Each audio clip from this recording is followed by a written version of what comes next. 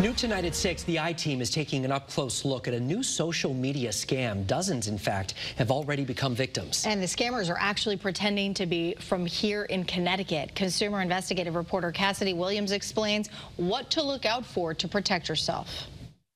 There's no better price for a baby grand piano than zero. Was browsing Facebook Marketplace for a new piano.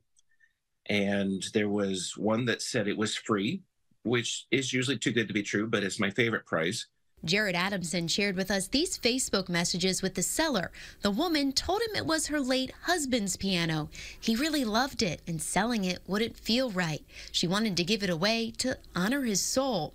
She says all Adamson had to do was pay around $400 to have it shipped using Ascot Movers. The website was really good like very well made, not just a simple one. But that's when I started to get some red flags of this seems too good to be true.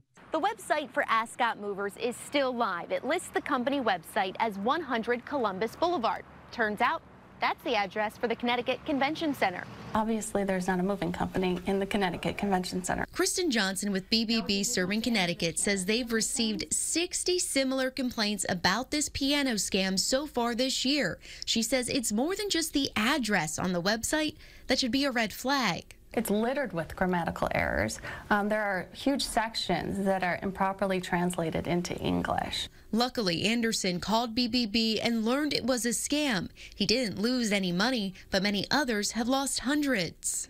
Just be aware, be smart. He hopes his story can be the key to preventing anyone else from getting scammed. Cassidy Williams, Channel 3 Eyewitness News.